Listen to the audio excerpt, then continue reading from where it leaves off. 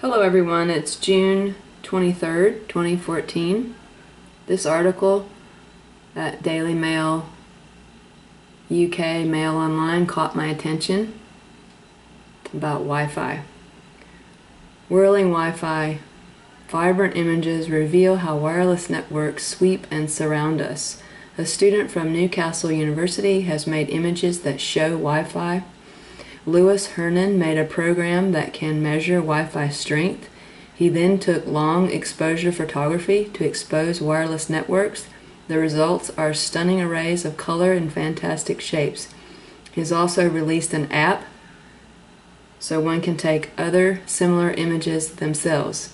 A student has produced a series of vivid photographs that reveal what the networks that keep us connected to the web look like. The images created by Lewis Hernan from Newcastle University show spectras of Wi-Fi sweeping and swirling around in bright beams.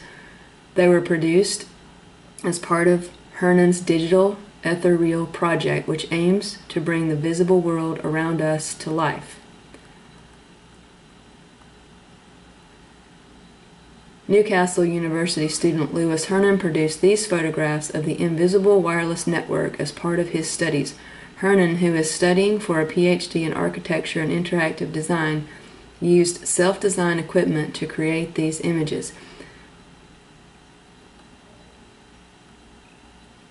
I call these images specters, he says, because wireless networks remind me of ghosts. They are there, but you can't see them with the human eye. The fact that we are becoming increasingly reliant on something that we can't see intrigues me. I wanted to find a way to show the wireless, which is around us, and also to show how it changes. It is an impossibly fragile and volatile infrastructure that holds our digital technologies together and shapes the way in which we interact with the digital world.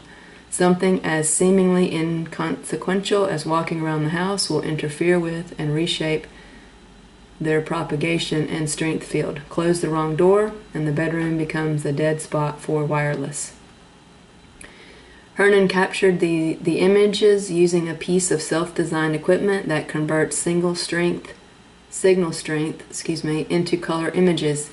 He also has an app available on Android called Kirlian that enables people to measure the strength of Wi-Fi around them for themselves. The images show how Wi-Fi signals of different strengths surround objects and people. They were created using a program that changes color depending on the strength of a signal. Blue is the strongest, ranging to red at the other end of the scale. And as you can see, there's two more. The left-hand image shows how Wi-Fi signals around a ladder may appear while the image on the right reveals how Wi-Fi signals surround people when using their phones.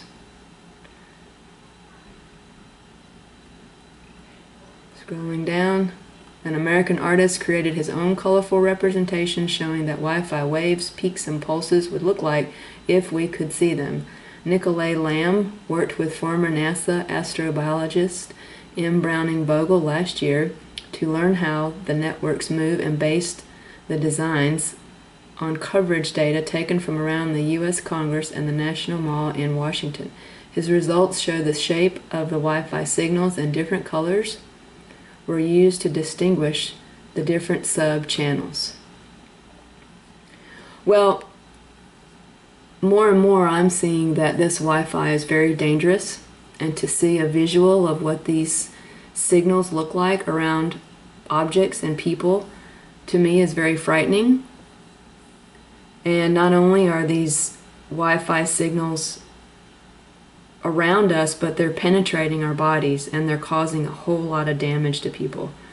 I'm becoming more sensitive to this, and I know that other people are and are sharing similar stories. So please circulate this information if you can, and I hope everyone has a great evening.